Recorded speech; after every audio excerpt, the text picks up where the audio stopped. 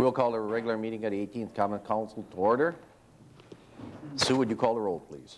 Bauman. Berg. Bonet. Serta. Graf. Laux.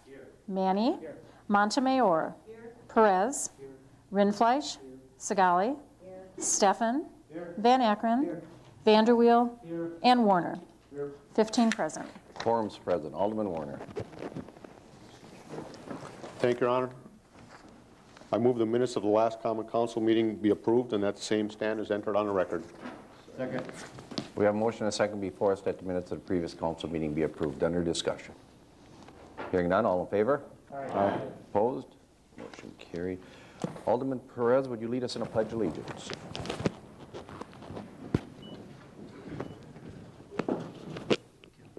Steal it from you. I pledge allegiance to the flag of the United States of America and to the republic for which it stands, one nation, under God, indivisible, with liberty and justice for all. Thank you. Very awesome.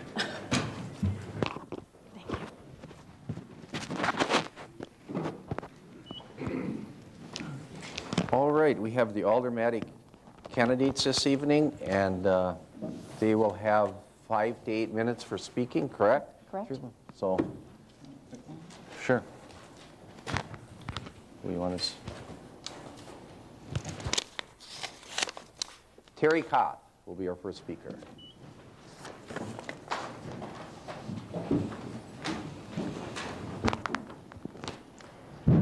Terry, could you give me your home address, please? Uh, 625 Fairway Drive, Sheboygan, Wisconsin. Fairway. And you will have five to eight minutes, sir. Thank you. You're welcome. Hello, my name is Terry Koth. Now, I've been actively seeking this seat for over one year. It, it is indeed re- regrettable uh, that this uh, is resumed under such tragic circumstances. I was looking forward to next year to run against Bob. I have walked the whole district, talking to any voter who will listen. Now, my being seated is in your hands, and I I ask you for that support. I'd like to read my bio just in case some of you don't know me or who followed the last campaign. I'm married to wife Marlene. We have four children and two grandchildren. I'm a lifelong resident of Sheboygan. I graduated from local schools. I received a Bachelor of Degree of Science from uh, in Business Administration from Lakeland College. I've been self-employed in the fields of business consultation, real estate, and construction. I've been employed by several Sheboygan employers, completing 20 years at the C. Reiss Coal Company until they closed and retiring from the Sheboygan Glass Company. In April 1961, I was elected to the Sheboygan Council. I uh, beat Bern, uh, Mr. Kleinke, 35-year veteran. Uh, uh, very unhappy man. Uh, I was reelected uh, two years later, and again elected April 1997 to take the seat of James R. Schramm, who had been elected mayor. Uh, I was elected to a single three-year term to the Sheboygan Area School District. I had at that time an agenda. It was implemented. It was implemented, believe it or not. And I was allowed to move on. I'm a Korean War era veteran serving overseas in Germany. I'm a longtime volunteer and activist for programs for children with special needs.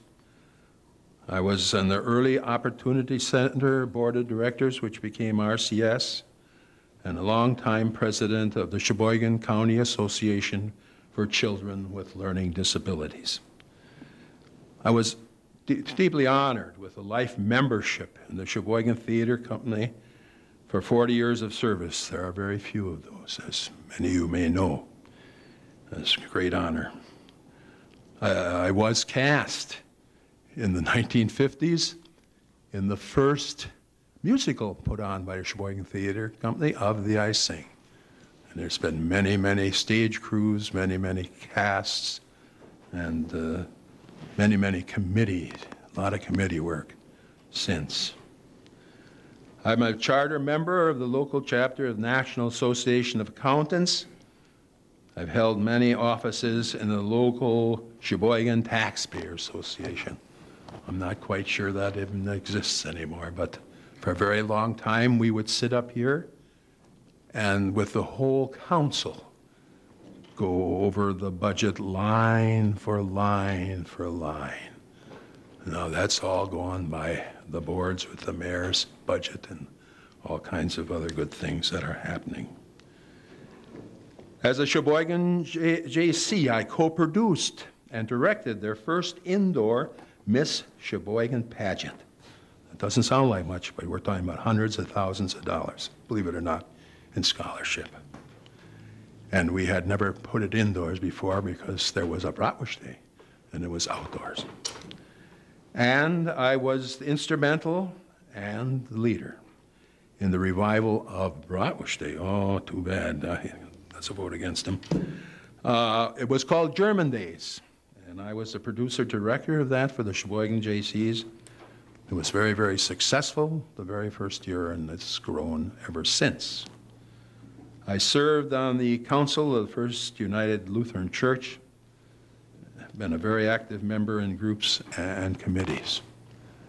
Now, I'm not sure uh, if there's specific, can can we ask, is there questions, or that's not applicable? No. So that's me. I'm uh, here because I love to give. I participated in affairs of the city all my life, and uh, I enjoyed the last contest. I never knocked on so many doors before because could, it was hard to keep abreast of Mr. Peterson. He rapped on doors. I kept running across him. And this is really sad. It's sad. Thank you, Terry. Okay. Scott Lewandowski? Lewandowski.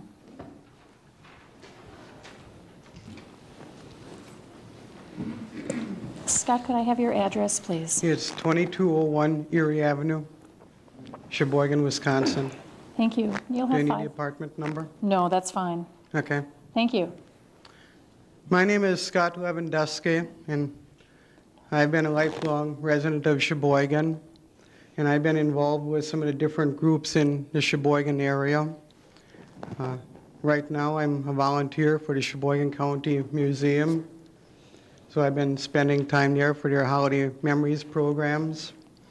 I've also worked with the museum with the education programs that they have for the different school districts in the Sheboygan County. I'm also a volunteer at St. Nicholas Hospital, and I'm a volunteer for Partners for Community Development. And in all of those positions as a volunteer, I have met many people of Sheboygan and also of the minority groups in Sheboygan, so I feel that I'm qualified to work with all of them. A Little background on me also is that I attended local schools in Sheboygan. I graduated from North High School. I attended the University of Wisconsin Sheboygan for two years, got an Associate of Arts degree there, and then I transferred out to Lakeland where I received a Bachelor of Arts degree out there. Uh, my major was elementary education. I am a substitute teacher for the Sheboygan schools. And my minor was U.S. history. And since that time, I've gotten very interested in the history of Sheboygan and would like to be a part of that history. Last year, I had a book published by the Research Center in Sheboygan Falls, where I'm also a volunteer, on Charles Bourne and Bourne's Park, which used to be in Sheboygan. And Charles Bourne was an important man also because he was a, the second police chief in Sheboygan. He was an alderman quite a few terms, and he was a four-time mayor of Sheboygan.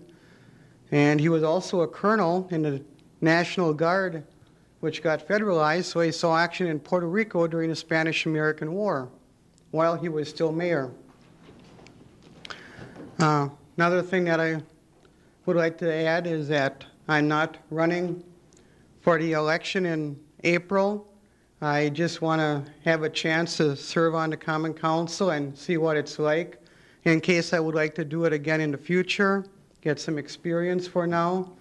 And I feel with, if I would get chosen to serve for the three and a half months, the two candidates who are running for the aldermanic position would uh, be running on equal terms with nobody having an advantage of already being in office for a few months. That's about all I have to say. Thank you. Thank you. Okay, Jean Kittleson. Jean, can I get your home address, please? 1716 Illinois Avenue. Okay, thank you. Okay. Well, Mayor Schramm, ladies and gentlemen of the council, and all others present here this evening, thank you for giving me the chance to introduce myself to you this evening, especially for those of you who don't know me, and to thank you for the opportunity to ask for your vote to be appointed to the vacant council seat that presently exists in the 3rd District, 5th Ward of the City of Sheboygan. My name is Jean Kittleson, and I reside at 1716 Illinois Avenue. I've lived at that address along with my husband John for almost 37 years. I am a wife, mother of two grown sons, both married, and the grandmother of five. And three of those five grandchildren are being raised right here in our city. I'm currently employed full time at Younkers Department Store right here in our downtown area.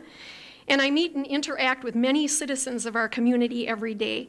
Uh, giving excellent customer service is a goal I strive for each and every day. Greeting and serving the public, which I do at the store on a daily basis, is a job I truly enjoy. I've been affiliated with and have volunteered for several organizations in our city. I've worked on campaigns for the Sheboygan Area United Way, both as chairperson and committee member as well. And I also divide my time and give service to the Sheboygan Theater Company, University Theater, and the Weill Center for the Performing Arts, where I currently serve as the hospitality manager. Um, it is there that I worked very closely with Bob Peterson, uh, preparing for many shows that have graced the stage of this beautiful facility we have in our city. I'm also a member of the John Michael Kohler Arts Center and currently serving as a committee member of the Mayor's Special International Committee. For those who, of you who don't know what we are, we are a group of citizens who ensure that our relationships with our sister cities in Esslingen, Germany and Tsubame, Japan are fostered. And our hospitality also extends to any visitors to our city who come from abroad, as well as foreign exchange students who attend our Sheboygan area schools. As I said, my husband and I have lived and worked and raised our family here in the city of Sheboygan, and our city has been very good to us. Through the years, we've seen many, many changes and improvements, and I know more are yet to come. I think exciting times are ahead of us. I've always had an interest in city government, and the time has come in my life where I feel it is my turn to give something back to the community which has given me and my family so much. What I do have to offer you is a good, strong work ethic along with honesty and integrity. I have a lot of positive energy and enthusiasm for plans and projects I truly believe in. And I will always be a cheerleader for the wonderful things our city has to offer. And last but not least, I would offer an open, objective, listening ear to the citizens who I would be representing. Listening to their comments, uh, concerns, criticisms, and complaints would be of utmost importance to me. Um, it would de- indeed be an honor and a privilege to serve with all of you, our city leaders, whose job, among other things, I'm certain, is to work to keep Sheboygan, the great city it is to live in, not only for today, but for generations to come. Thank you so much for listening, and I thank you for your support. Thank you, Jean. Your Honor, could I ask a question, please? Pardon? May I ask a question? You can, nobody has, but you can. If I could, please? Sure. Jean, could I ask you a question, please? Sure. Um, You state that you work full-time at Younkers. I had also worked part-time for many years in retail. I know what scheduling is like, Yes. and I know how it affects uh, things on a daily basis, especially things that's meetings, such as meetings, common council meetings, committee meetings, etc. Would your job interfere with, or could you work around uh, so that you could attend the council meetings and any or committee meetings? I could most definitely work around that, Okay, very, very much so. thank you. Thank you. Okay. Election for alderperson. Alderman Warner. Well, thank you, Your Honor. I make a motion that the following names be placed in nomination for the position of Third District Alderperson. Terry Koth, Jean Kittleson, and Scott Lewandowski, voting to be done by open ballot, and if more than two candidates are nominated, the candidate with the lowest number of votes be dropped from the list, and balloting to continue until one candidate receives a majority. Second. We have a motion and a second before us. On that, Your Honor, I'd move to close the nominations.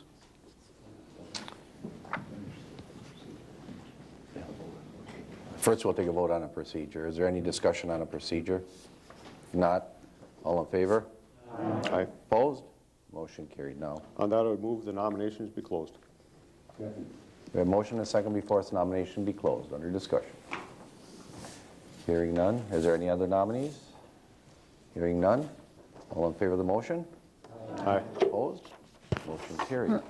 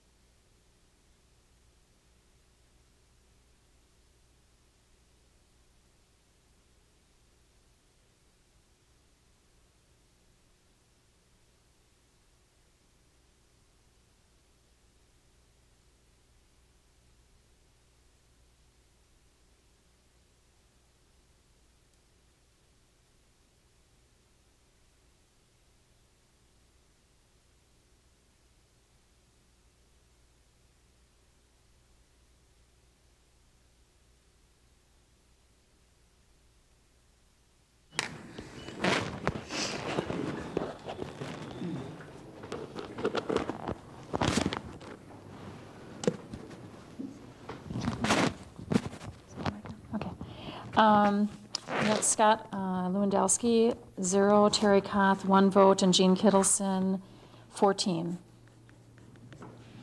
Okay. Congratulations.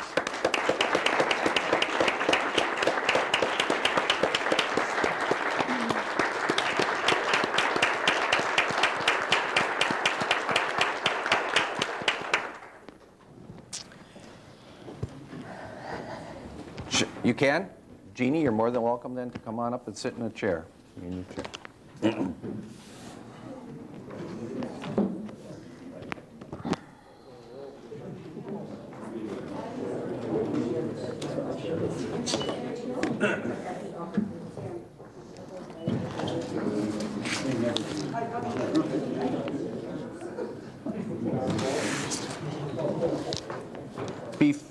Before we get into the public forum, I would like to make a few comments, and there are a few aldermen who want to make a few comments, and then we'll get into the public forum, so bear with me. As our process of building a new police station continues, the importance of, of staying the course towards our goal of providing our residents with a safe community they deserve and our, and our police officers the resources they need remains the number one goal. The debate is about public safety and the emphasis, emphasis we put, we choose to place upon it. I am certain about the effort, I am concerned about the efforts of a few people to cloud the issue and only further delay the police station from being built. One, which we already have spent over 80 meetings discussing and reviewing 49 potential site locations. To suggest that I have not been forthright with efforts of those opposed to the Sheridan Park site is nothing more than election year politics and an insult to those who place a value on the safety of our community. All of you learned of Mr. Muth's efforts vi- via a letter last weekend which he sent directly to you. I was never asked to be part of Mr. Muth's meetings nor asked to be present or asked to present any information to this council. The only city officials who attended these meetings were some of the aldermen here tonight. Mr. Muth or Mr. Grover or anyone else has information to present to this council, then I welcome their attendance to do so.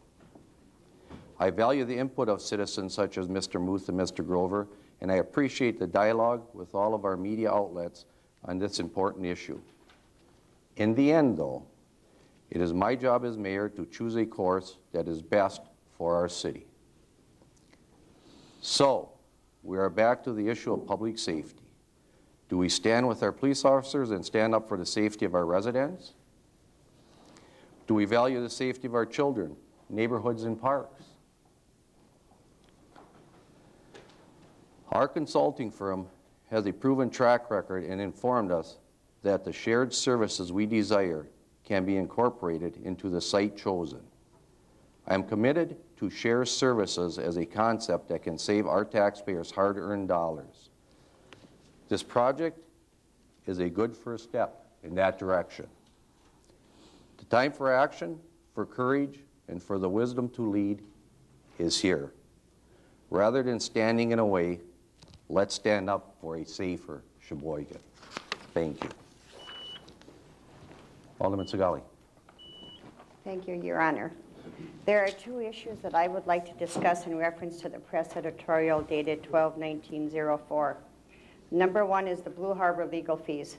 When the issue of the Blue Harbor fees was out in the open, the press felt the group was beating a dead horse because after the initial complaint that was filed by me and it was ruled there was no wrongdoing, the group took further steps but to no avail. This issue is now dead, and now look who is beating a dead horse, the Sheboygan Press. The mayor, city attorney, and the council do not need to be reminded of the issue. I am sure they all remember it well, as do I. Number two, the group formed by the area businessmen. The mayor did not need to share the information about this group because, first of all, there was really no information to share. It was all talk. We on the council knew of this group. As Alderperson Montemayor stated, she knew this group also had been formed. I was aware of the group because when Alderperson Bob Peterson, and may I add, God rest his dear soul, called me to say that the person from American Orthodontics was part of a group who were opposed to the Sheridan Park site, called him. He stated he had property he would donate to the city for a police site, and if I remember correctly, it was on Penn Avenue, and a site that would have been contaminated because it had been a dump site. This man also stated that if we voted for Sheridan Park, he would pull his money from the city. I told Alderperson Peterson that he could tell this man that I would not be blackmailed into changing my vote. This was an editorial that made me think twice as to who was not telling the truth to the people of Sheboygan, the press or this group. For the letter the council received from Mr. Muth stated he wanted to make it perfectly clear it was not about the police site, but about shared services. Facts about shared services and not just words would be welcomed. My vote still stands with Sheridan Park site, and shared service is a whole different issue. Maybe the press should be more concerned with the facts instead of political campaigning. Thank you, Your Honor. Thank you. Alderman Serta. Thank you, Your Honor. I would like to publicly comment on some inaccuracies which were printed in the Sheboygan Press Sunday by the editor in his editorial titled, Mayor Needs to Share Information with Council and Public. First, the article states that in addition to the citizenry support in opposing the Sheridan Park location, we now have, I quote, added to the staunch opposition business leaders Michael Muth and Bruce Grover, unquote. Yet on Friday, December 17th, I received in writing an official statement regarding Mr. Muth's and Mr. Grover's position on the location of a police station. It reads as follows, quote, let us be perfectly clear. Our group is not about site selection. Our focus is shared services, unquote. And both the, if both these statements are true, there seems to be a contradiction on behalf of Mr. Muth's and Mr. Grover's true intentions. Secondly, the press reports that the city had a handshake deal with the county concerning the future police station contingent upon a land swap. It furthers charges that only after we got the opinion from the League of Municipalities did I quote, the mayor and the council do an about face and walk away from its deal with the county, end quote. I take exception to the press implying that I, a council member, made such a deal. Further, I would like to know when I supposedly sealed this agreement with a handshake. If you will recall, when I made the, my decision for Sheridan Park, I even questioned when did this become an issue versus relationship with the county. Finally, to address the issue of the press claiming that the mayor has, quote, kept the information to himself and selected members of the council, end quote, I, as a member of the council, did not learn about Mr. Muth's particular inquiry until the press released this information in an article dated on December 11th of 2004. To verify my claim and the actions of the mayor to sharing any concrete knowledge in relation to this topic, even Mr. Muth and Mr. Grover apologized in their written statement, which I received on Friday, quoting, that you may have learned about our group via the newspaper. At that time of the at the time of the story, we were not prepared to inform you on our group's intentions.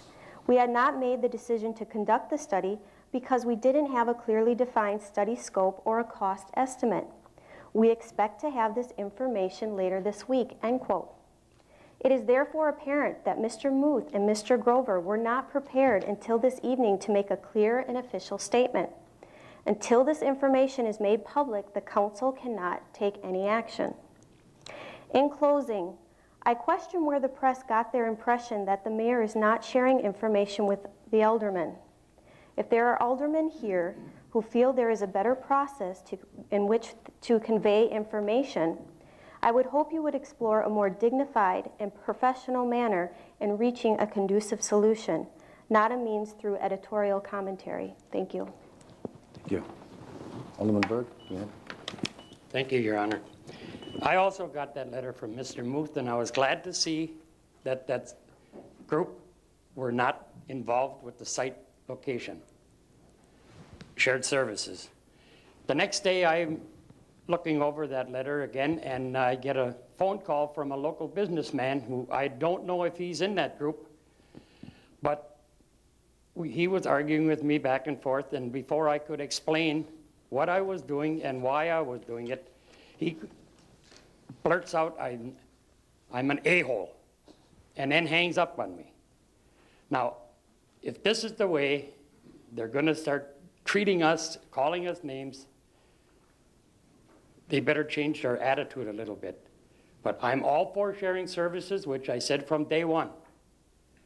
And the Sheboygan Press, if they would put some time and effort into running a good newspaper instead of trying to run the city, and corking their thoughts down the taxpayers' throat, I think they would be better off in a better newspaper. Thank you. Alderman Warner? Uh, Thank you, Your Honor. I didn't really prepare anything for this, but I guess I concur with my colleagues that have spoken thus far. I think when I read that editorial, I was disturbed largely by the inaccuracies in it. I think that that's just not something you should put in there. Uh, If you can't be accurate, then leave it out. You want to put your opinion in there, that's one thing. But to put things out there that are inaccurate and try to put them up there as being factual really bothered me a lot, especially when it came to the Sheboygan County site issue along with the Sheridan Park site issue, because our Building Use Committee did address that. And right here's the letter that we sent to the county after we had a tentative agreement with them. As you recall, in our negotiations with the county, and this was to their attorney, Carl Beasing, as you recall, in our negotiations with the county, the committee, committee tentatively agreed to the access easement, subject to review and determination that the overall site layout with the easement will meet the city's building requirements. We were to send this, their site layout plan to the Kimi, who spent, you, was paid $35,000 to do an accurate study for the city, I might remind you. And they came back to us and said, no, you need the full four acre site, get back down with the county, sit down and talk to them. The county's response? I believe that the position of the county in this matter has been clear from the outset that an easement to the west one-half of the south 30 feet of the four-acre parcel was non-negotiable. The county has gone to great lengths to help the city solve its police station siting problem, from offering the site to the east of the county law enforcement building, offering it to us. You know what offering is? It's when they give it to you. To agreeing to the relocation of the highway department shed, which we were required to pay for its replacement costs. To agreeing to the city's proposal to accept the city's underutilized parking lot as partial payment for the highway department parcel. Underutilized, that lot is fully rented. A $326,000 lot, fully rented. To agreeing to forego an easement on the east one half of the 30-feet parcel. What you are now asking is for the county to create a problem for itself in order to solve the city's problems. Their words, not mine. At this juncture, the Executive and Transportation Committees will be submitting a resolution to the May 2004 County Board meeting to offer the site to the city based on the terms negotiated with city representatives on March 29th. So they were doing it without even talking to us again. So I've heard enough of that, and the press ought to start getting that right in my mind. I'm sick of hearing them twist the facts on that one. That really bothers me. Uh, As far as the Friends, I'm glad to hear that they're not opposed to site selection. I'm glad to hear that they support the site we've chosen, and I'm glad to hear that their main thrust is to look at shared services. And we are looking at in the present site, and we will always look at shared services. And when they're in the best interest of the city of Sheboygan, it will have my full support. And I do applaud my colleagues for standing up and saying something that perhaps would not have been said. And I don't know, Chief Kirk, I talked to you today, if you had something you wanted to add on this?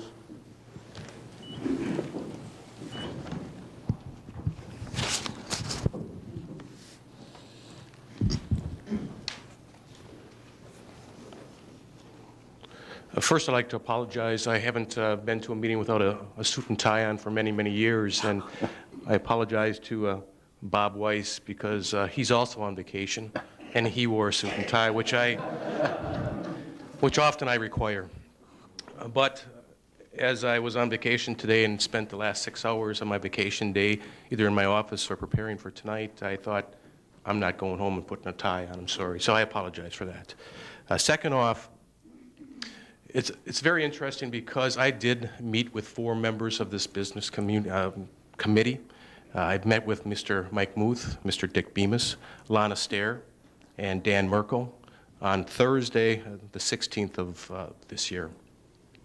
Uh, First off, uh, we began, um, and Mr. Muth addressed the letter. He he faxed me this letter, and I thanked him for making sure that the mayor and the alderman received a copy of this letter. We first talked about shared services. I, I want to give the proper respect to these people because they are our business leaders in our community. They uh, chose to get involved in this. They are willing to put their money where their mouth is and say, Chief, we'd like to look at this. As we began to talk about this topic, I, I first off felt initially offended in the sense that uh, they wish to fund a study on shared services, yet They haven't talked to me or a member of my department about what services we do share. So as we began to talk about what services we do share, I wish just to touch on these, if I could, Mr. Mayor, as to some of the uh, shared services so we understand what we share before we need to investigate further. We share daily information on daily investigations. We have a monthly chiefs meeting with the sheriff and the police chiefs of this county. This uh, monthly meeting began when I became a chief because we want input on our decisions as to what we do as law enforcement uh, agencies in our county. We used to use their uh, criminal or their criminal investigator for the computer investigations because he was the expert at that time. We do their internal investigations, they do ours. We do their uh, internal investigations and criminal investigations when needed.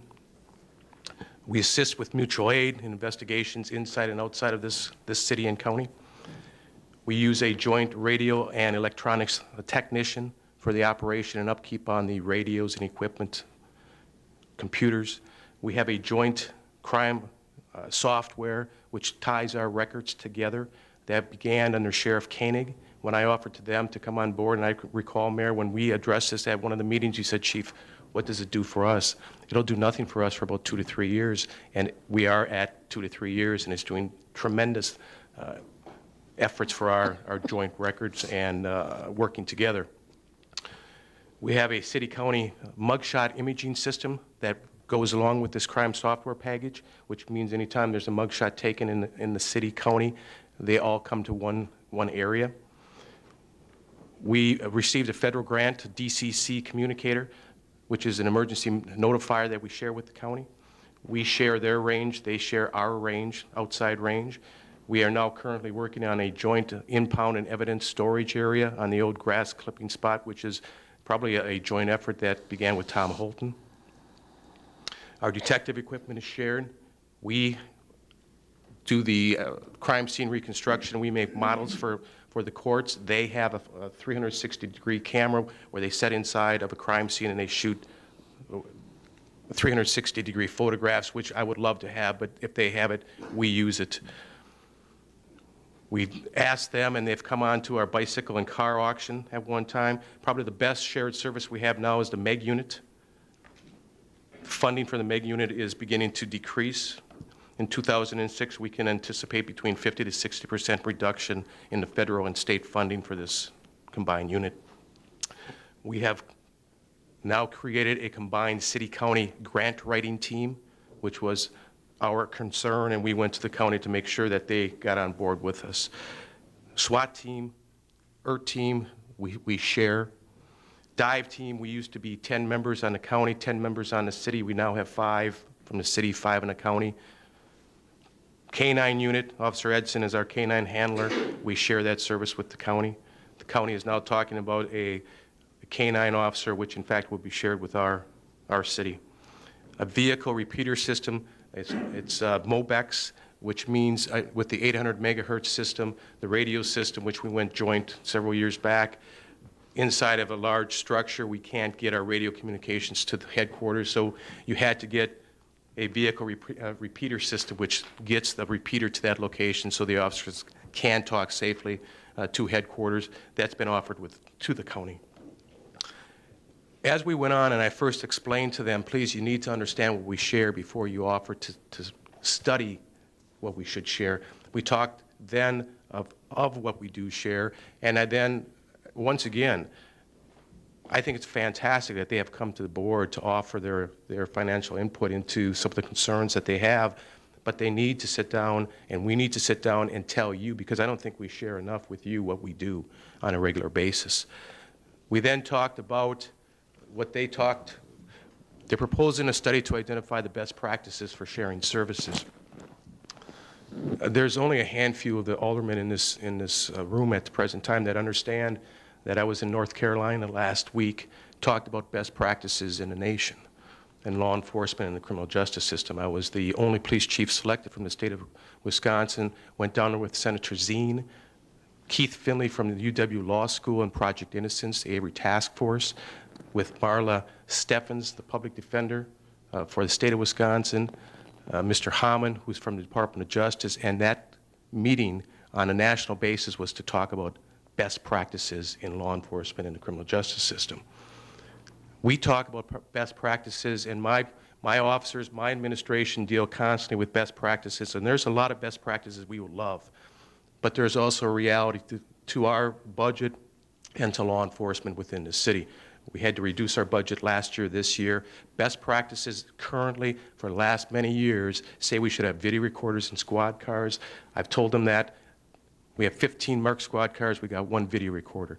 Best practices in the state of Wisconsin says we should have tasers. We are currently uh, being offered some assistance in that, but at the present time, we receive one-tenth of what the budgeted amount that we asked from for the budget. Also, best practices currently coming out of North Carolina and this federal uh, approach to the criminal justice system says that we should audio tape and or videotape all of the criminal investigations. I'm not sure where the money's coming from. So as they offer to look at best services, I applaud them for those efforts, but understand what the reality of current policing is. There is not money for many of these best practices. Doesn't mean yet we don't have to discuss them and look at them because I go around the state in different agencies or different committees I sit on to talk of best practices. I speak to the new chiefs of police training session on a yearly basis about best practices, how to survive your position as a police chief. And I'm telling you, uh, Mr. Mayor and Common Council, you provided me some great funding, yet at the same time, best practices, we have not complied with many of the best practices right now, but we're doing what the best we can. So as we talked about this, uh, Mr. Muth, uh, we talked about liability. And I, I, I don't need to defend any of these people, nor do I need to uh, speak for them, but I will speak, and, and they asked me if I would speak in support of a joint effort to study this. I said, certainly. If, if this is on shared services, please understand what we do. Please talk to Sheriff what, what we do together, and then let's study this as to what the best services are, what we can share, and what we can't. They initially said we should look at the efficiency, uh, reduce costs, and there's six different evaluation measures we should look at. It should be the efficiency. If we're going to consolidate or shared services, it should uh, become more effective, more efficient. It should save the city and or county money. It should be a better service and or the same service for a reduced price. It should also deal with, with uh, accountability. If we're going to share services, we have to hold those accountable to what we're, we're sharing so that we do receive the suggested product. And we also have to deal with harmony. Is it going to create harmony or disharmony within the organization? Because if it creates disharmony, you will not get the intended results. So as we're speaking, we talked of liability that currently exists in our current structure. Um, Lana Stair uh, indicates that we should build immediately. Uh, this is not about site selection. This is not it's about shared service. It's not about, about site selection and chief. We should build immediately. We are not stopping your construction of this police department. Mr. Muth, uh, shortly right after that, says, Chief, I agree we should build immediately. And I'm telling you, we do not oppose the current site. I asked him, I said, this letter that you authored with Mr. Grover, I thank you for sending it. Mr. Muth wanted to make it clear that this is a consensus opinion letter from those people who sit on the informal group. I have no reason to doubt what I was told that day. And I'm not sure who sits on this informal business group other than the four members I spoke to that day. I applaud them for studying shared services. As I said, I was initially offended because we take great pride sitting with the county sheriff and the other chiefs. I sat nationally on a panel to discuss best practices. So we do take our job serious, and if they are willing to provide a study, that addresses shared services, not site selection as they indicated, because they said, as Mr. Muth said, Chief, you must build immediately. We no longer oppose the current site that you have picked. So this is what I've been told, and uh, this is basically what I wanted to say. Thank you.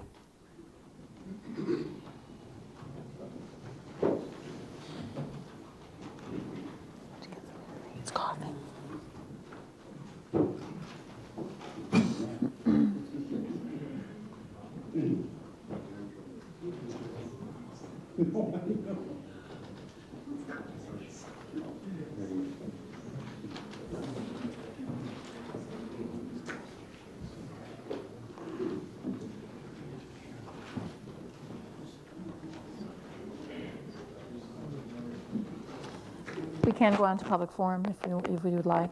The mayor just had to step out for a second. Um, The first one on public forum is Mr. Frank Coxan.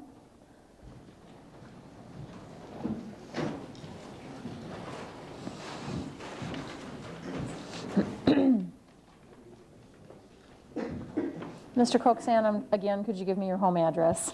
Certainly. 2829 Erie Avenue. And you will have five minutes, sir. Okay, thank you.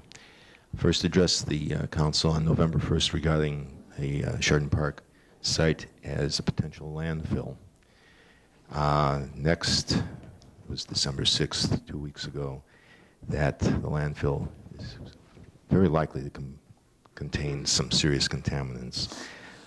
I related some of my conversations with uh, expert professional opinion people from the DNR here locally in Plymouth and uh, in Milwaukee, and with a professional in uh, at the Alpha Terra company, which does soil tectonics, they call it testing. And at that time, I spent a lot of time talking about vapor probes. I didn't get a chance to make my point because time ran out. I'd like to continue with that. The reason I focused on vapor probes to detect the presence of methane, particularly high levels of methane, was it would avoid serious, revealing more serious problems. Soil borings will have to be done. No engineer worth his salt would design foundations without knowing what those foundations are going to rest on. And when I talked with Ken Ebbett at Alpha Terra, he said, you're going to pull up a four-inch core. And there are different procedures. You might sample every two feet. You might sample, oh, he gave me a range of things. But he said, that will reveal what's in there. You cannot not do soil borings. And when those soil borings bring up contaminated material, and I'm confident that they will, the development will stop. You will have to apply for an exemption, and that exemption will depend on an investigation. When I talked with Nancy Ryan, she said, the best case scenario is the borings reveal benign materials. Worst case scenario is you will have to remove everything. Intermediate, put an appropriate cap on it. What's an appropriate cap? A couple of feet of clay. Sounds relatively expensive to me. One of the things that she said is she was surprised that the council was not exercising, and this is a phrase our city attorney will recognize, due diligence. Because there is the potential to expose the city to significant liabilities. This is not, Mayor Schramm, an issue of safety.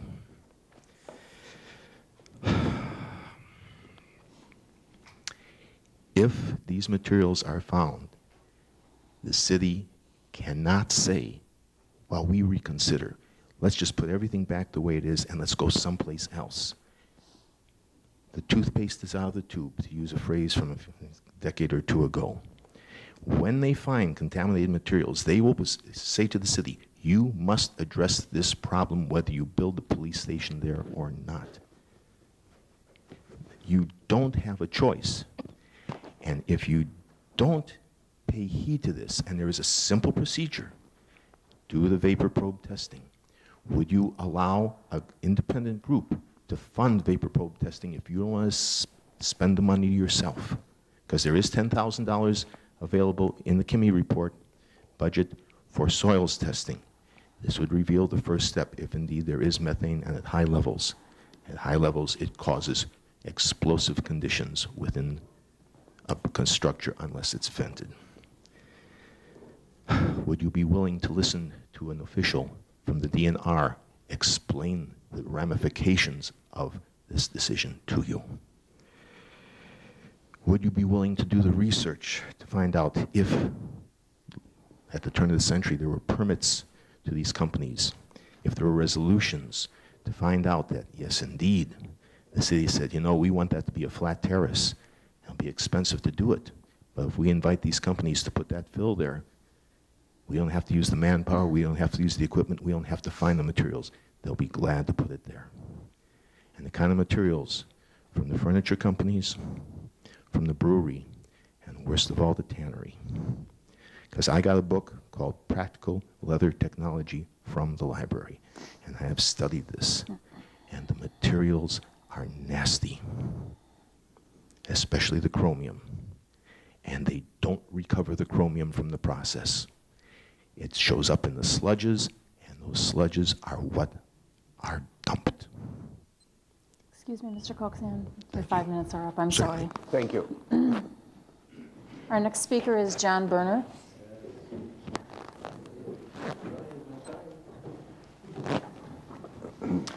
John, could you give me your home address again, please? Sure, 1919 Broadway. Good evening, everybody. Boy, you hit on everything I was going to talk about tonight. The press, the guy sitting there with the earplugs in. Hi. uh, eh, yes, the press. You know, I, I read the articles. I, I don't buy the press, but I read them while I'm getting gas or something. And then I saw this, this last editorial, and you know, everything you say is there is no shared revenue. Uh, and it's like you don't even come to these common council meetings. You're listening to me. You can write this down if you want. It's, you don't be bashful. Uh, I like a smile. And another thing is, is when the press uh, had the article on uh, Parkside, and you people said, recall these people, recall. You know what? Maybe they're right. You know, not the press maybe these people that voted for the park was right. Did you ever look at the city map? You know, where the central of the city is now on 14th Street? No, it's not in that paper. I, I passed it around a couple weeks ago. You know, it's like any other business. Uh, the press did it. You, you say that the extra money isn't going to cost the taxpayers that much, but yet I saw the press move the Fond du Lac. That was a business decision. Uh, Mr. Muth, he built out in the township. He still has a building in the city. And uh, Mr. Grover, he has uh, vinyl plastics, but it really has never expanded in Sheboygan in the last 10 years. They are businessmen. They got to be good at it because they make money. But they don't live in the city. Their houses are not in the city. Their uh, businesses are in the city. They pay taxes. The business pays taxes. The businesses do. Me as a resident, I pay, a, I pay taxes to the city like many others. I don't get a high income like a lot of, you know, just like the average Joe, we don't make the big bucks. So every dime is important to us. So 14th Street, if these people would consolidate their funds, buy the next block over, rip it down, say, here, build a police station on that, there's the park. But you know what? This man here says there's contamination there. So whether you took the next block or the other block, because I'm certain he didn't take one little space and dump in it and said, that's the park. It had been that whole area. And people have dug in it, right? They got basements. Ah. Geez, I was going to say so much, and you guys just got cheap. You're doing good. you know? But uh, shared, shared services, you, your press just doesn't, you just blank that out when you put in an editorial. It's like there isn't going to be any shared service unless we go to 23rd Street. I don't know where you get that from. I mean, I just watch these meetings and I can pick it up, and I, I'm no scholar, just a common, ordinary person. You're educated. You should be able to pick that up just like that. I'm done. Thank you. Thank you, people. Um, Next would be Eric Itzen.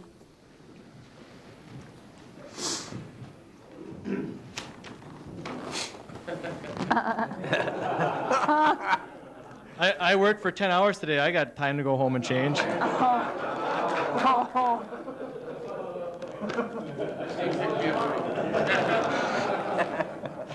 Eric, could you give me your home address, please? 30, 3612 Rosewood Court. And you will have five minutes. Honorable Mayor Schramm and members of the council, I feel like I should begin my comments tonight borrowing from Alderman Berg by stating, here we go again.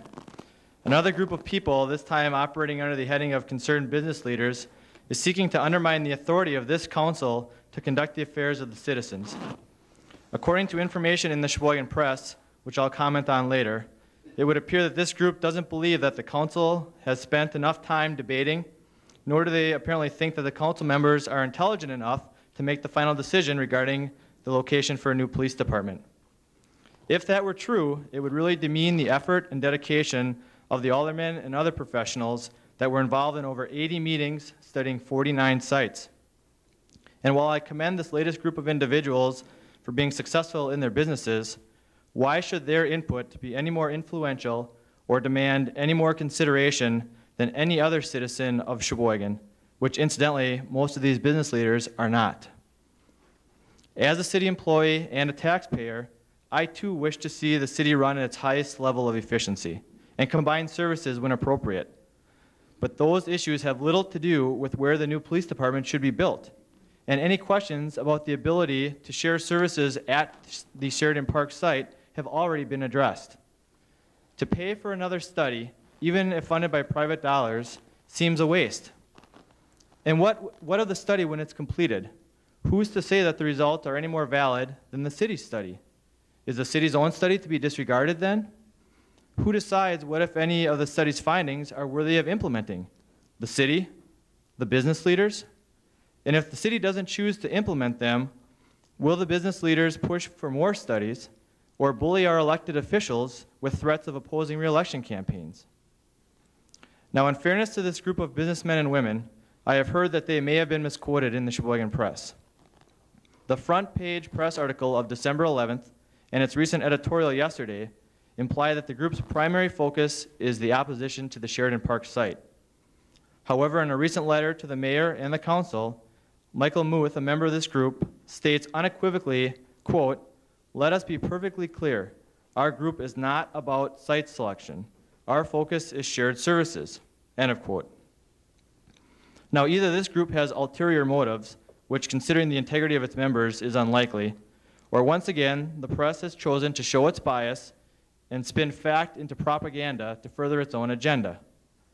The press alleges that somehow the mayor was not open and forthright with the information discussed at meetings leading up to the decision, Uh, excuse me, the selection of Sheridan Park. But were not all these meetings open to the public? Where is the, is the press's responsibility to attend and report on these meetings? Finally, yesterday's editorial charges that Mayor Schramm, that quote, Mayor Schramm and the council should listen to the business people just as they should have listened to the citizens group a month ago, months ago, end of quote. What about listening to all the citizens in favor of building at Sheridan Park that have written letters and spoken before this council? What about listening to the experts who the city, with taxpayer money, hired to study all the alternatives and ultimately recommended the park? And what about the chief and the men and women of his department, the true experts on the needs of our law enforcement community? What about their voice? Ironically, the press editorial makes my point. It stated, quote, Aldermen are the decision makers, the representatives of the people, end of quotes. Exactly. You have listened to all these groups. You have carefully considered the alternatives, weighed good and bad, and have made your decision. It's time that we all respect that decision and move forward with this, with this endeavor. Thank you. Thank you, Eric. Tom Szynski, please. Tom, could you give me your home address? Sure, 2404 Silverleaf Lane. And you will have five minutes. Honorable Mayor and council members, thank you for allowing me to speak. And I'm here to speak in support of the police department being built at Sheridan Park.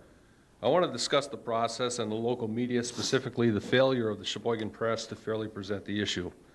We do have a representative form of government, and I would venture to say that the paper's reporters very seldom are present at discussions that take place at the committee level. This is where most of the action takes place in government, and we saw that in its decision to build a police facility at Sheridan Park. Upwards of 80 meetings over two and a half years, show that the council did its work. The public should be informed of these meetings and what, what is going on and what is going to be discussed, not just what's going to be voted on during the committee of the whole or a regular council session. The mayor and some members of the common council have always recognized the need for a new police facility, and they, excuse me, my glasses here, and they continue to do what's best for the city. The mayor has had a vision to address other issues around the city, such as continued development of the Harbor Center area, stormwater flooding issues, expansion of commercial and industrial areas, development of Blue Harbor. These could not have been done all at once due to uh, budgetary constraints. Perhaps previous administrations should have made the police facility a prior- a priority, and we would not be having these discussions now. Reporting on the part of the press that its decision is flawed or that the people haven't been heard is ludicrous and serves no purpose except to give traction to candidates running for office in April. I believe alternative sites were discussed at these 80 meetings that the press failed to inform on. Now it's time to go forward in hiring the architect and eventual construction of a police facility at Sheridan Park. Thanks for your time. Oh, and Mayor, by the way, uh, last, last week, my wife heard a rumor that I was running for mayor. I just want to let you know that no, I'm not a candidate. Thanks, Tom. And lastly, we have John Winter.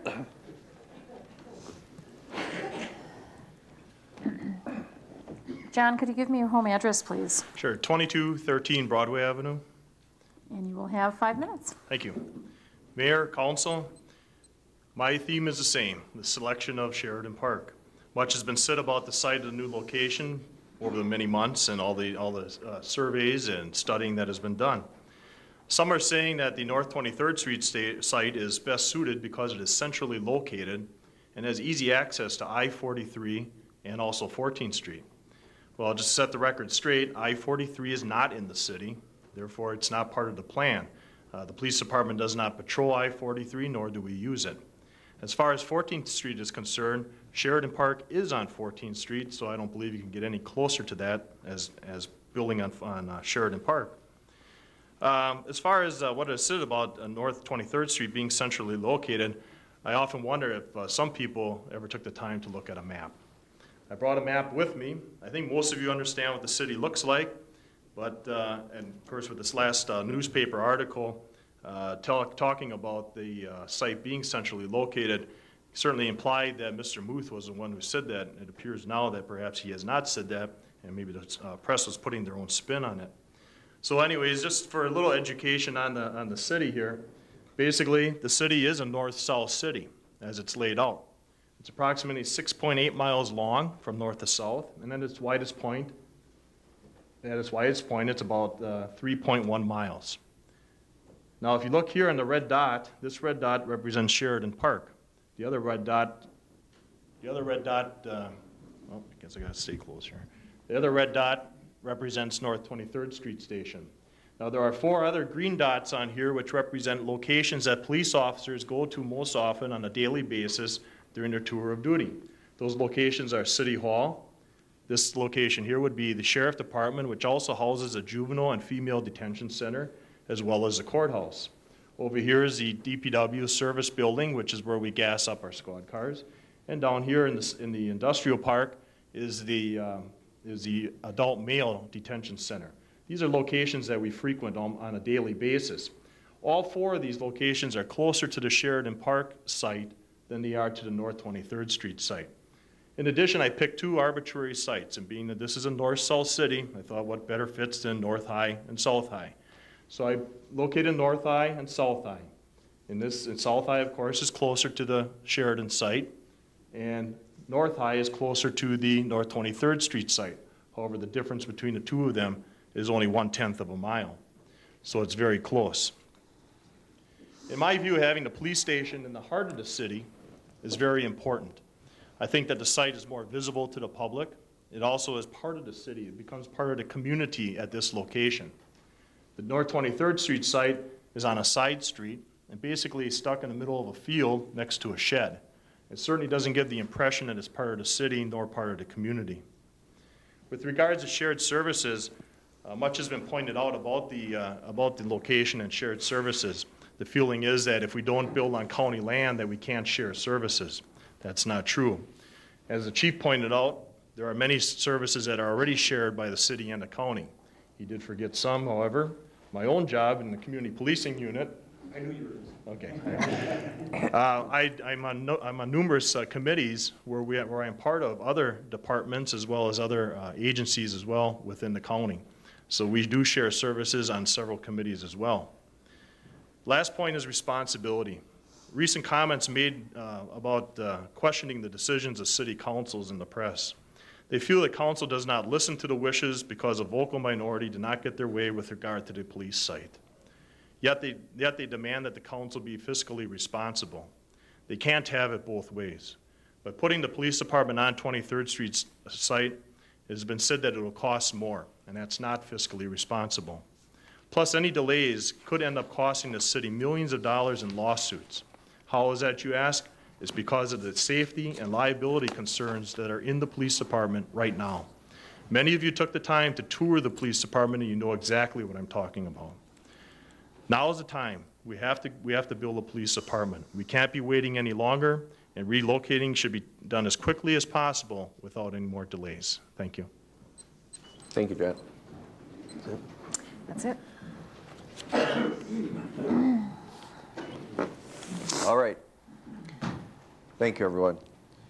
18-1 through 18-24. Alderman Warner, I consent thank Your. Honor. I move that all ROs be accepted and placed on file, all RCs be accepted and adopted, all resolutions, substitute resolutions, and ordinances be passed. We have a motion before us that all all ROs be accepted and filed, all RCs be accepted and adopted, resolutions and ordinances be put upon their passage. Under discussion, this is 18-1 through 18-24. Alderman Warner? Thank you, Your Honor. My buzzer is not working. I would just like to speak on uh, document 18-7. Okay. I I don't want a separate vote or anything.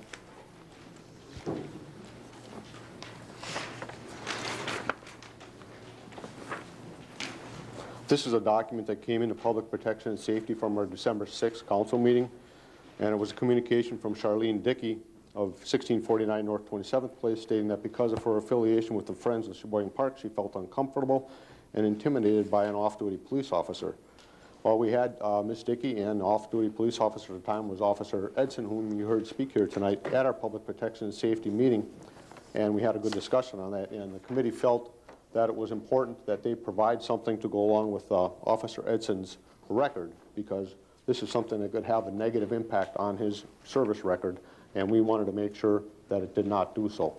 So what I did is I typed up a letter over the weekend, and this evening at the meeting, I asked the members of the committee if they would read it, and if they'd agree. We would just like to turn this into the city clerk's, but I'd like to read it first, so she can include it with her record or give it to uh, Ed, goes with it, with Eric's uh, record. So if I can read this to you. Uh, Dear Mayor Schramm, on December 15, 2004, the Public Protection and Safety Committee discussed and took action on Council Document Number 790405, a communication from Charlene Dickey, alleging concerns with Officer Eric Edson of the Sheboygan Police Department. This communication, submitted to the Common Council by Alderperson Montemayor, was referred to our committee at the December 6th meeting of the Common Council. In being submitted to the Common Council, this document became a public record, and as such, has the potential to adversely impact the service record of Officer Edson without a proper hearing. The committee had a thorough discussion on the communication with Ms. Dickey and Officer Edson present at our meeting. It is the finding and belief of the Committee on Public Protection and Safety that the issue has been resolved and that there was not any improper behavior on the part of Officer Eric Edson. The committee would ask that in the future, any such allegations or concerns regarding city employees be handled through the proper channels to protect the reputation and well-being of city employees. We would ask that all the persons presented with such concerns by the public follow the proper channels to resolve such issues. This can be done by contacting the Human Resources Director or the appropriate department head. We ask that this letter be included with any documentation regarding the above issue as a matter of record. Thank you, Alderman Warner.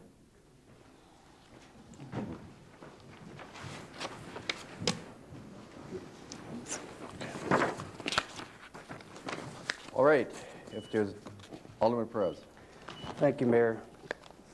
I wasn't going to speak to 18.7, but I, I think I feel an obligation to do so, uh, particularly because uh, Ms. Dickey called me and talked to me a little bit about what was, what had happened at the committee, and she, she wanted me to convey to the council that, uh, not the council, I, I'm sorry, the uh, Public Protection and Safety, that uh, she had made, she had been made to feel very uncomfortable, um, almost to the point where some people felt that she had lied, and she just wanted me to assure the council that uh, all she had conveyed was her feelings, her impressions, and so forth.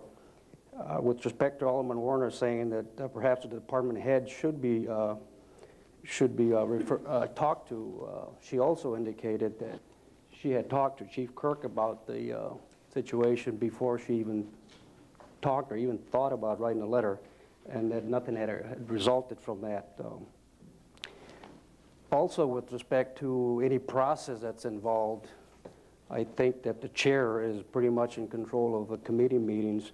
I recall a communication from an individual uh, calling me a liar and uh, landing at the Bill and Use Committee, which uh, Alderman Warner chairs, and uh, he recommended that uh, it be not even discussed and be forwarded to another committee. Uh, I think at this point, if it was inappropriate to discuss this issue, which may have been, then the chair should have properly referred it to the appropriate committee and not discuss it at the meeting. The reason that uh, letter was discussed is because the chair allowed it to happen. And I think that needs to be made clear to the people, uh, to the committee members, to the council, that uh, the chair has an enormous amount of control over what happens during a committee. And in this case, if the uh, letter was discussed publicly, it's because the chair allowed it. Hang on, guys. Uh, Chief, would you like to respond to that? There's some comment made that she spoke to you and nothing happened. I certainly would. Um, I stand here tonight and to let you know that I've talked to uh, City Clerk uh, Sue Richards when this first was put on the agenda. I spoke of it to the mayor. I found it wrong that a possible internal matter was not sent to us uh, to be investigated. Now, Mrs. Dickey is absolutely correct. I did talk to her on the phone about this incident. I begged her to come to our department to file a complaint if, in fact, she thought that was necessary. I stand here tonight and I hold my officers, and I'll let you know, I hold my officers accountable for their behavior. I investigate each and every incident that's reported to our department, and we make sure it's documented to make sure that if someone has a question, that we have a record that it has been looked into. Mrs. Dickey chose not to come to my department to file an internal investigation, yet I spoke to Officer Edson about this matter, which many times I don't. First off, I told Ms. Dickey that I find it offensive that one of my officers would harass, if you wish to use that word, another citizen for speaking out. Uh, She says that I would know her if I saw her, and, and I don't know who she is. She has her right to speak against the police department if she chooses. But I'm here to tell you that we will investigate each and every case. She chose not to come uh, to us. I yet talked to Officer Edson about this. He denied any involvement in there. He doesn't know who she was at that time. I'm not sure if he knows her now. However, I'm also here tonight to tell you that I will defend my officers, and that is the reason for internal investigations. I will hold my officers accountable when they are wrong or do something wrong, and I will defend my officers when these allegations are not worthwhile or not brought to my attention to investigate. I would ask that if you don't understand, please, if you ever get a letter about the performance of one of my officers, you bring it to my attention or the deputy chief's. We will get back to you as the author of that complaint or concern to let you know what happened. Thank you. Thank you, Chief. Alderman Berg? Thank you, Your Honor. I think what I'm going to do is I'm going to talk to the attorney and see if we could set up a committee of the whole meeting sometime in January to cover certain documents that uh, people want to bring in, Alderman, that, that we can ask him what, what we should take to the floor or what should go to different department heads. You know, that they can, they can uh, clear up the situation. Alderman Segal. I guess the reason we know, have to know about the chain of command and what to do concerning these situations. Here's Officer Edson sitting again, um, having this all aired out in the public, and it's really our councilman's fault that this is taking place because we didn't know the proper procedures to follow so that Chief Kirk could have taken care of it, and this would never have been having to be inflated as it is today. So again, I personally will apologize to Officer Edson for having to have him go through something like this. Thank you. Alderman Warner. I thank you, and the committee did apologize, in, in the committee, each, each committee member did apologize to Officer Edson for having him go through that. And we also had a good discussion with Ms. Dickey.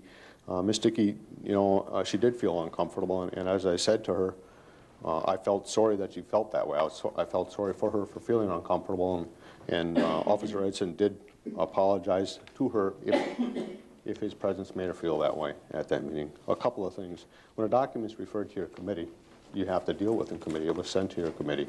This should have been dealt with in a different way from day one. It never should have gotten to the committee level. We handled it, I believe, well in committee. Each side got to speak to what their issues were. Uh, I think the committee did its job. We just felt that the nature of this uh, should be brought forward so it doesn't happen again to someone else and uh, let the council know what's going on. I think we did the right thing. Thank you.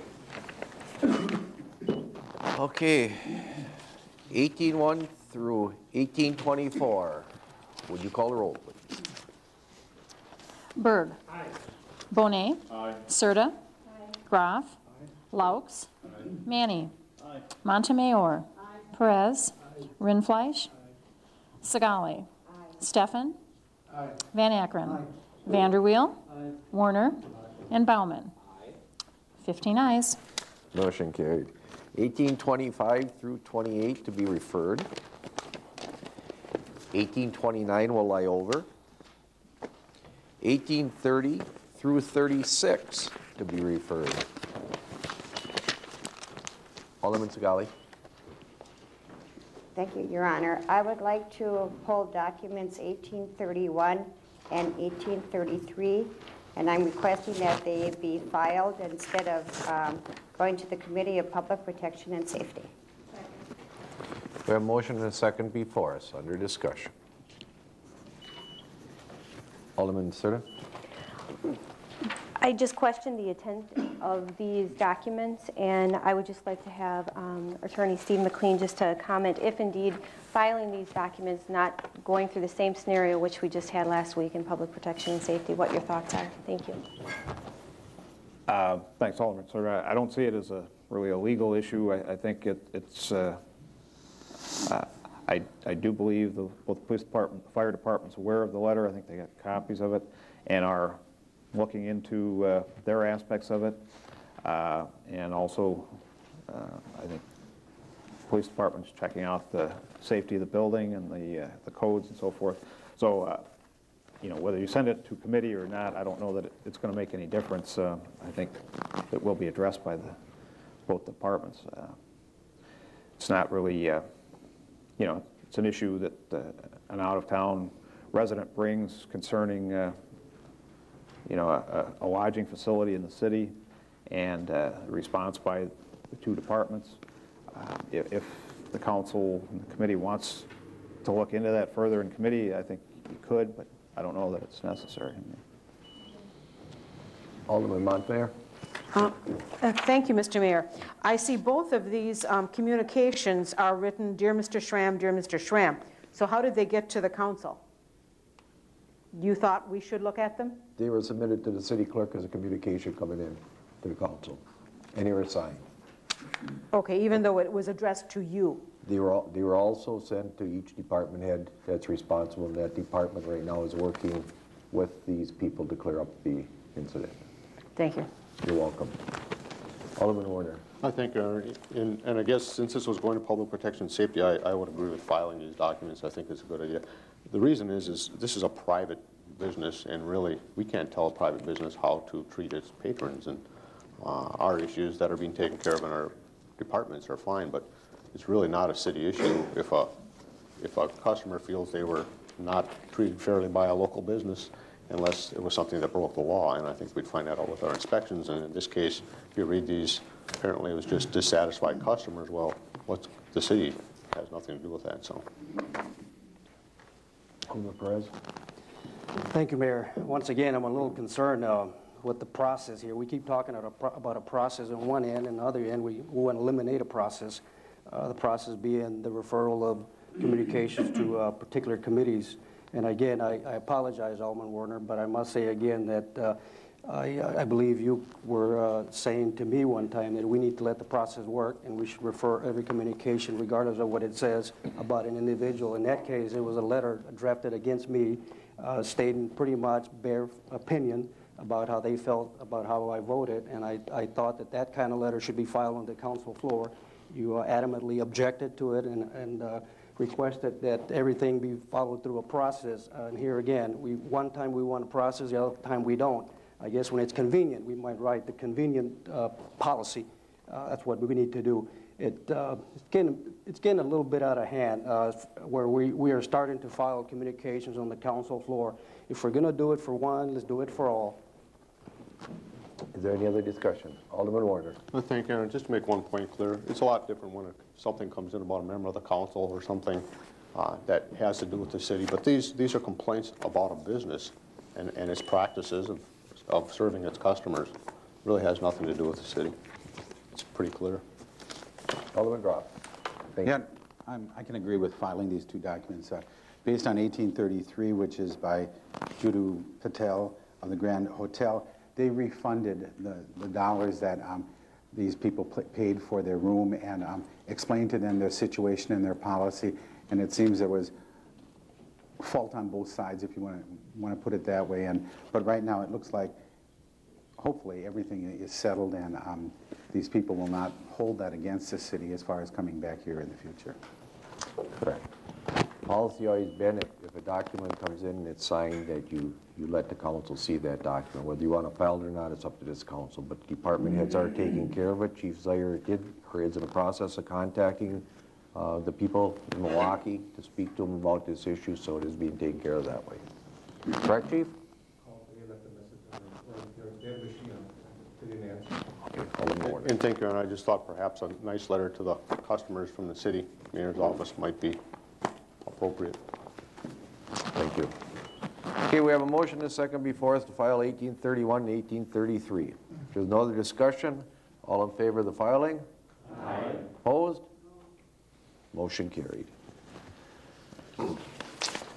Okay, rest of the documents. Take a Roll call soon. We did this already. We did that already. That's right.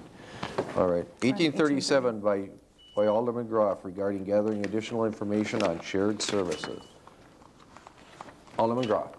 Thank you, Your Honor. I would move that that resolution be... Hang on just a moment, sir. Pardon me? 1832 It's being referred. referred. Your Honor, I was just going to ask if that one be referred to Public Works, it's dealing with uh, issues inside the park. Right. And you would have to send it to Public Works to get anything done. Okay, that's fine, Public Works. Okay, Alderman Groff. Thank you, Your Honor. I would move that that resolution um, regarding the gathering of additional information on shared, shared services be put upon its passage. We have a motion and a second before us, under discussion. Could- Who seconded it, please? Marilyn? Under discussion, Alderman Berg. Thank you, Your Honor. On this uh, document here, it says that uh, we're going to give our support to their findings. We have no findings yet, so I think this is a little bit premature. Once they have made their study and come in with some findings, then I think a document should come in, and then we should take a vote on that. This is a little bit premature.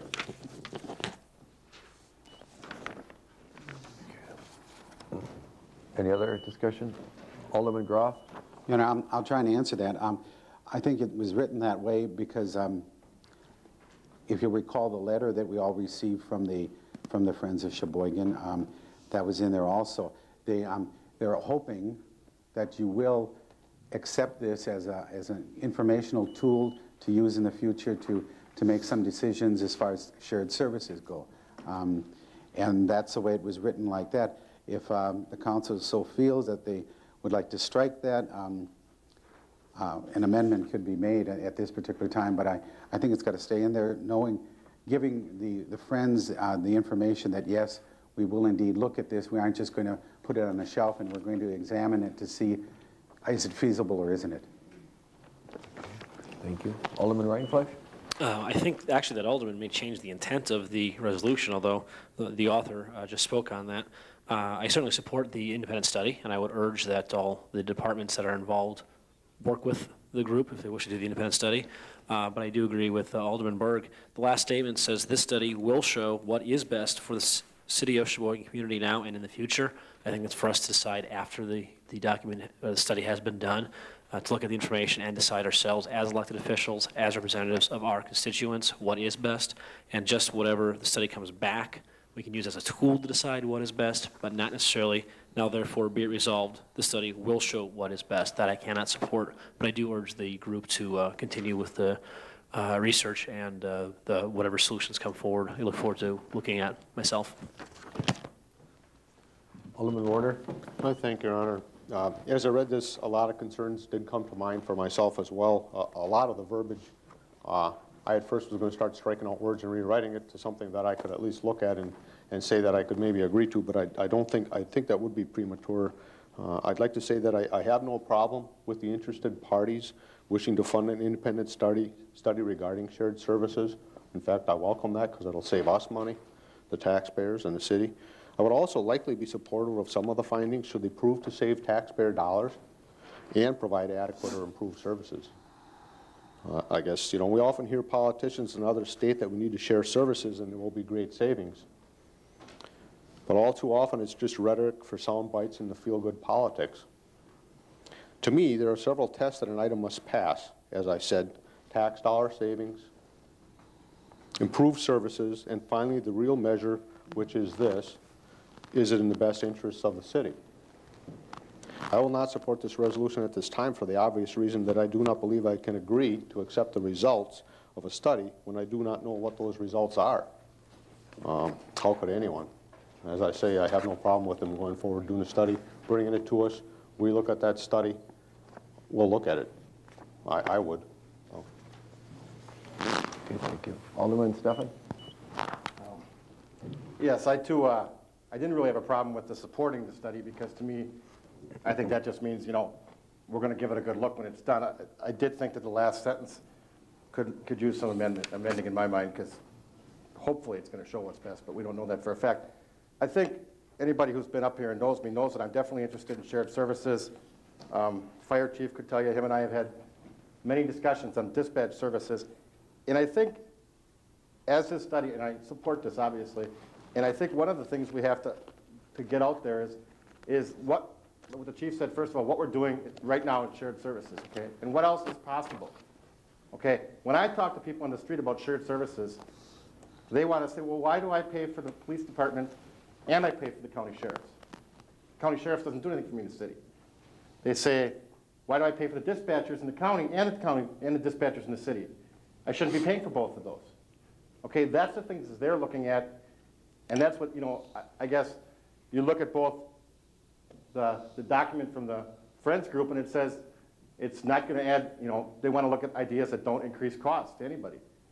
Well, I think we have to say, willing to say, well, maybe we can increase costs if it's a better thing for everybody. You know, one perfect example is the uh, police liaison officer program. You know, the finance committee came out and said last time, you know, it's fair, the, the school system pays half of it, but there's a few towns that don't pay the other half, and the city picks up their portion. We sent them a letter to those towns asking them, just explaining it to them, how it was figured out, and not one of them sent us a check back, and this is, you know, minor dollars, obviously. So I guess we've got to get, you know, buy-in from the county, buy-in from the towns to really look at this thing as a whole and say what's best, if we can combine things, if we can't.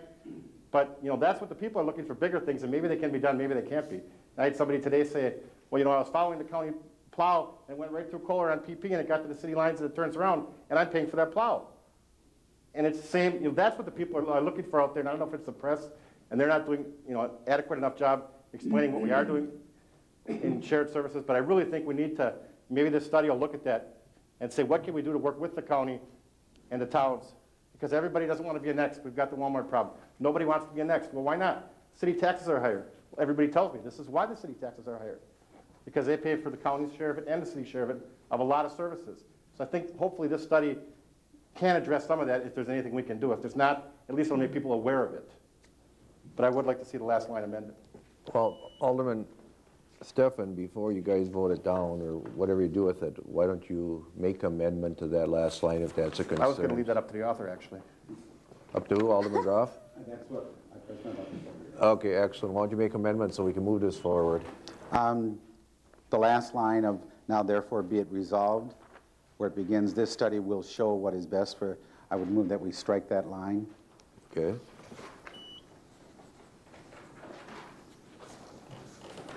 I'll second that. Okay, you have a motion before you. Under discussion of the amendment. Would- Would you please repeat that, Alderman Groff? That under now therefore it be resolved on the first page, where it starts off, the last line is, this study will show what is best for the city of Sheboygan now and in the future. I would move that we strike that line. Okay, now, we're speaking on an amendment, correct? There- Okay, Alderman Vanderweel. Thank you, Your Honor. Um, Seems to me that we're missing the whole point here. On the other side, if you look at it, be further resolved that the proper city officials accept and use the information from the independent study. And it goes on, why would we accept and use it if we haven't seen it already? I think that should also be striked.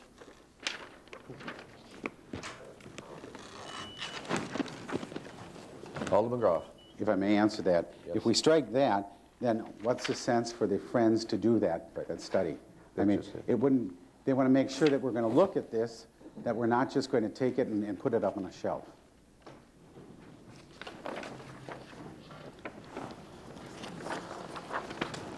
Okay, Alderman Serta.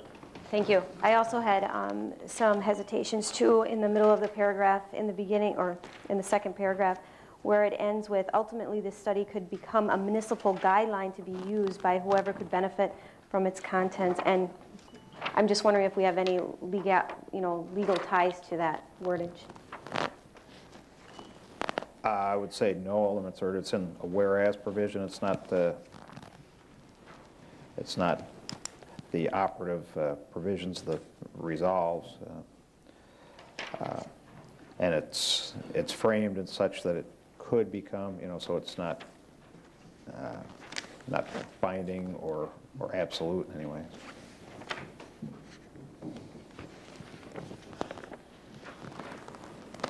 Okay. Okay. Alderman Perez, you're next. Thank you, Mayor. I, um, I'll support this resolution because I think it's an excellent opportunity to explore uh, the issue we have talked about for years and years and years, but doesn't quite seem to materialize and at shared services. My question would be, uh, we have a, uh, an email, uh, Mayor, addressed to you by Mrs. Lana Stair, asking some critical key questions that involve Oh, this is on, a- hang on, this is on amendment. Oh, okay, then I'll just refer to that. uh, This is on amendment. regular- Mm, right. Okay, anyone else on amendment? Alderman Warner. My light must not be working. It- You know, there's so many places that I think need to be amended. I, you know, I support the idea of them bringing this study forward, going out with the study, and us coming back and considering it. But there's so many things in here where the words and verbiage just don't fit. You know, there's in that first whereas and the next whereas, there's some, and there's some in the whereas after that, and then the now therefore be it resolved has to have some struck out. I can't, we're gonna have to bring this back in a solid piece before I'm gonna support it. I just can't, and I want to.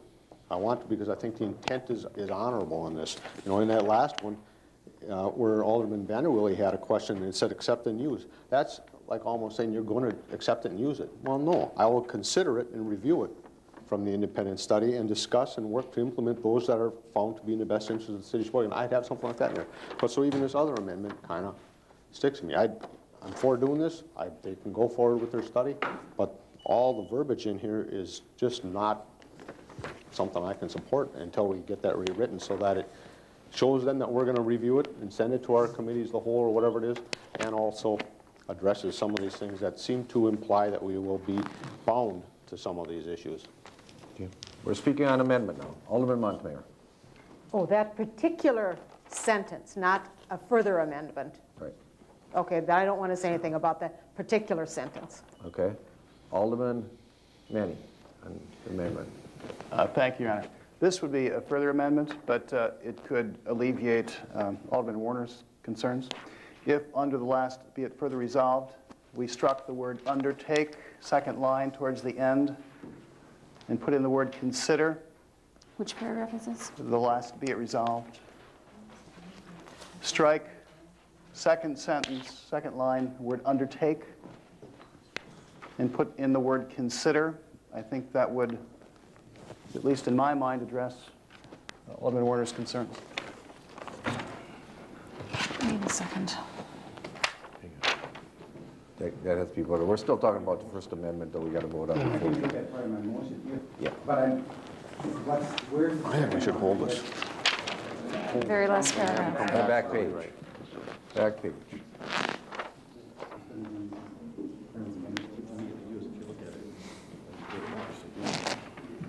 Yeah. Sure, you said this, and now, here we are. My amendment there. That's acceptable? Okay. Second. You got a second? Alderman Manny? Second. Got it now. Who seconded that? Bill? All right, we're still on amendment. Alderman Berg. On that last, be it further resolved, Alderman Vanderweely stole my thunder. So as long as we're chopping this up so much, why don't we just file it and let them come in with a new one when they come in with their findings? Okay. Alderman Rindfleisch? I was just going to speak on the uh, document as a whole, not on the amendment. Okay. Alderman Vanderweel. Thank you, Your Honor. I was just thinking, you know, we all have, we want to change it. We all want to change it. Would it be possible to send this committee of the whole and we all put our two cents into it? I don't know if that's possible. Anything's possible, but we have amendment on now. Alderman Warner on amendment? On amendment too, uh, there's just so many amendments there without having the words down. I'd like to see this document in its final form instead of crossing things out, writing in some words here, and ending up voting for something that we don't really uh, know what's there. So I think we should, I'm not going to support the amendments at this time. I will support a revised document uh, if we can put something together or or if we add these amendments and bring that document back so we can look at it again when it has all the revisions in it, I'm fine with that. Amendments, speaking on amendments to this. All right, we have a motion and a second on amendment, on a amendment. Is there any other discussion on that? Hearing none, all in favor of the amendment? Aye. Opposed? No. Motion carried, I believe. If I heard right, or you want a roll call on that? It's on amendment. On the amendment, Bonet? Aye. Serta? Graf? Laux? Manny? Montemayor? Perez? Rindfleisch? Sagali? Steffen? Van Akkeren? Vanderweel? No. Warner? No. Bauman? Berg? No.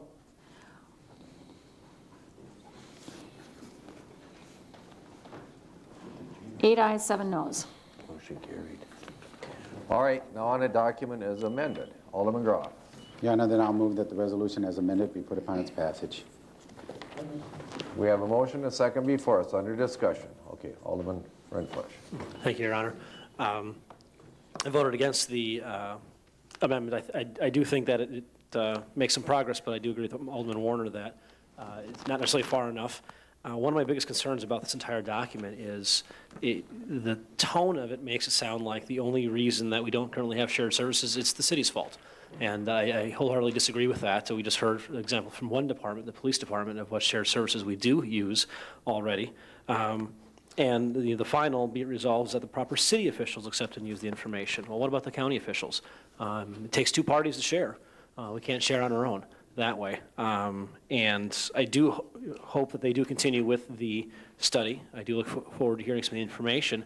But some of the information that I want to hear is, uh, as even Alderman Steffen brought up, the city taxpayers pay for a large chunk of the county pay, uh, tax rolls and don't necessarily get those services that they see and use. Brought up the example of the sheriffs and brought up the example of the snowplow stopping at the uh, city line. But there's many, many more as well. Um, you know, one hand, we're almost half the population of the county, but we don't have half the seats on the county board. Um, uh, the tax revenues that the county gets, most of it comes from the city of Sheboygan, not necessarily the county, yet we don't really get that representation out there. Um, city taxpayers own the North 23rd site for the police station, yet we have to buy it from ourselves uh, to, to use it as a police station. I think there's a lot of examples that the shared services that we're talking a lot about, the county tends to point the finger at the city, really needs to start in the county level. Uh, and I do hope the study shows some of that, and I do we can use some of that, but I can't support this because it looks to us as if we're the roadblock to shared services, and I do believe that's not the case.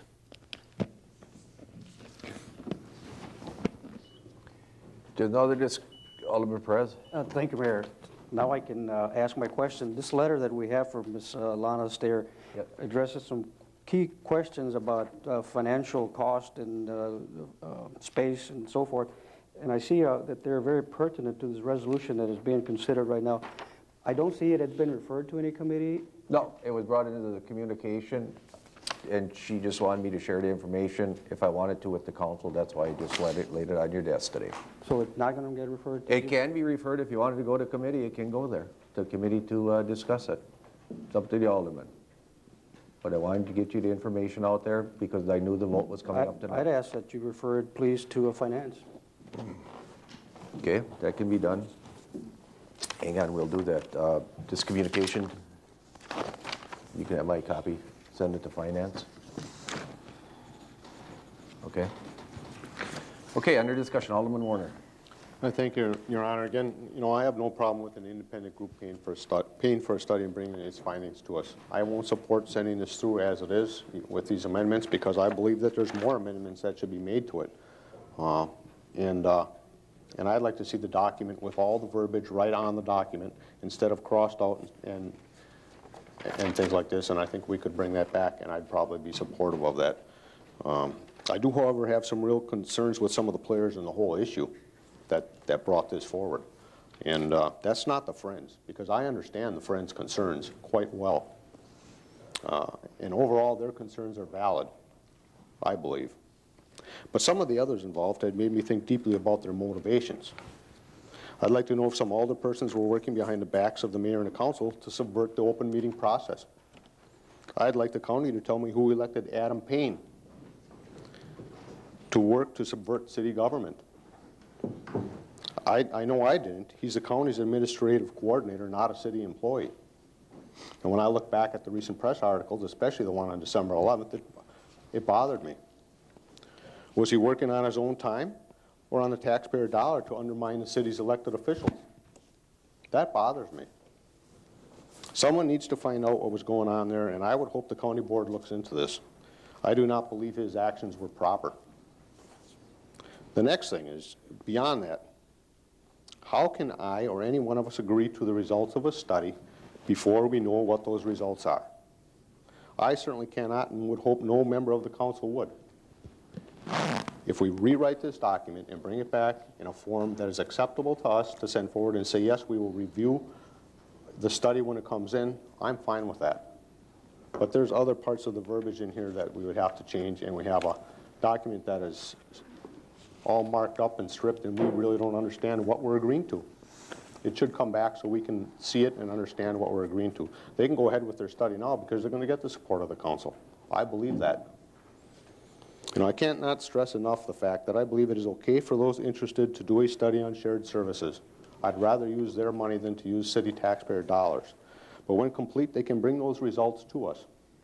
Then we can review them and work to implement those we believe are right for the city. But to just say today, okay, whatever the results, we agree. That would not be right, and I cannot support that. I say revise it, bring it back, and uh, some of the issues uh, Eric uh, mentioned regarding the county, yeah, they are a player in this too. But uh, I don't see a whole lot of input on them. We've tried to hold shared services meetings, and they refused to hold them. We wanted to hold them on the library. No response. Nope, sorry. So, you know, it takes two to tango on this, and, and I think they should go forward with their study. But I, I think right now, I'd like to see this document come back with verbiage in it that we can read every word of it and understand what it means, instead of things crossed out. And I think that's a responsible thing to do. Two weeks, it'll be back there. January 3rd. Alderman Manning? Thank you, Your Honor. Just want to note clearly, in my mind, all we're saying as the final resolve is that we will consider the report. There's nothing mandatory in it. We maintain our responsibility. One more time, Alderman Warder. I think, Your Honor, me- perhaps we should be sending this to committee to get rewritten and brought back on January 3rd. I- And I would so move. Second. What committee? Uh, Shared Services Committee or uh, the Strategic Fiscal Plan. I would, s- I would expect Strategic Fiscal Plan would be a good candidate. So I move to forward this document to Strategic Fiscal Plan. We have a motion and a second before us under discussion. I would ask, this goes to strategic fiscal plan, that you have the friends with you when you draft this document, if you're going to redraft it, that you understand everything and have them with you in that committee for their input in this document. I believe Alderman Groff is chairman of that. Alderman Groff, is that all right? All right. I can, um, You know, I will request that they be there. I think it's very important because we did bring this document forward and it's showing good faith of shared services, which we've been asking, so. Right. Alderman Rindfleisch? I guess I would ask for it to be referred to the Committee on Shared Services, which the county is a part of as well.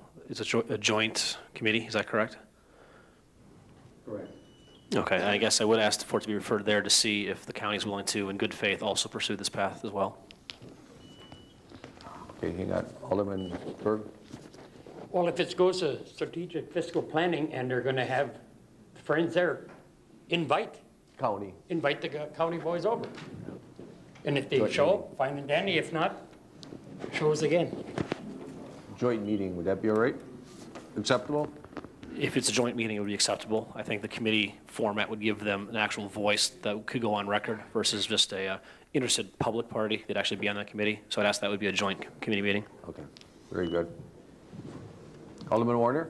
Uh, Your Honor, if it goes to, to a strategic fiscal plan, before we give it to the county, we should probably have it rewritten. And I think if we did that in there, and then we got together with the county on a shared service thing, or they can come to that meeting and help us rewrite it, but That's what I was hoping, a joint meeting. we need to get a document that has everything in it that is wanted in there and fits. We have a motion to send this to strategic fiscal plan, along with inviting county and the friends to be there to rewrite this document. Under discussion. Hearing none, all in favor? Aye. Opposed? Aye. Motion carried. 1830, whoa. Alderman Montemayor? Uh, Thank you, Mr. Mayor. So we're not voting on the resolution that was presented Right, and it's being seconded? referred. It's being referred. Roll For Four. sending it to strategic? For strategic.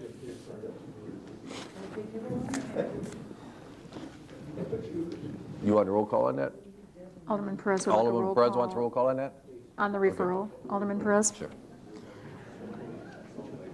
Okay, uh, this is a, This this one. is a roll call for referral to strategic. A joint meeting, right. Um, Serta. Graff. Laux. Manny. Montemayor. Perez. Rindfleisch. Sagali. Steffen. Van Akkeren. Vanderweel. Warner. Bauman. Berg. Bonet.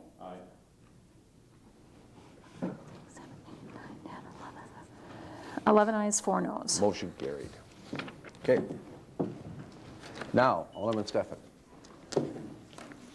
Um, I believe I need suspension of the rules for document 1838. I would ask for suspension. Yeah, let's read the document. By Alderman Steffen, Steffen, repealing Resolution 450405 and approving the terms and conditions of the ground lease of of the redevelopment authority land in the South Pier District to Doyle's property of Sheboygan LLC. You want to take both 1839 also? If I could, I need suspension on both. Yeah, and that would be for the ground lease for the triple play real estate, so. We have a motion, motion and a second before us for suspension of the rules. Is there any objections of suspension of the rules? Any objections? Hearing none, proceed. Uh, Both of these documents, Your Honor, are uh, continuations of uh, tenants that are going to build stuff at the South Pier District. I don't know if you have any questions. Paulette is here, she could answer them, or the individuals are here also. Otherwise, I would make a motion that the resolution be put upon its passage. Second. Moved and second, the resolution, and both of them be put upon their passage. Under discussion, Alderman Warner. I thank you, Your Honor. I just wanted to mention also, these two are ground leases for Doyle Properties and Triple Play Real Estate, and they're in a South Pier District project. I think that both of these are going to result in increased development and contribute to the success of the South Pier District. I think that's important. I think this is more solid evidence of the bright future for Sheboygan's riverfront and lakefront. Yes. I agree. There's another discussion. Would you call the roll, please? Graff. Laux. Manny. Montemayor. Perez. Rindfleisch. Sagali. Steffen. Van Akkeren. Vanderweel. Warner. Bauman. Berg. Bonet. And Serta. 15 ayes. Motion carried. Thank you for coming in. 1840 by Alderman Groff, Ryan Fleschenberg, authorizing the city to enter into a contract for obtaining medical stop-loss insurance. Alderman Groff. Yeah, and I believe I need suspension on this. We have a motion before us for suspension. Uh, Is there any objections to suspension? Hearing none? Your Honor, I uh, move that the resolution be put upon its passage. Moved and seconded, the resolution be put upon its passage. Under discussion. Just under discussion, why we asked for a suspension, we're acting on this tonight, as there are several people that um, would like to take advantage of this, uh, and this is um, an area that's basically a win-win for um, both the city and the employees, um, whereas the city wins because we, we will no longer have to, um, will be required to pay um, the FICA tax on, on this particular uh, investment that is made in this program, and the um, employee wins because um, they're able to save um, these funds and use them after. Hold it, Jim. Ed's motion. Stop loss, 1840. This is a stop loss. Oh, did, oh, excuse me. Okay, I'm sorry. Never mind. Okay. You want to explain, does someone want to explain the stop loss?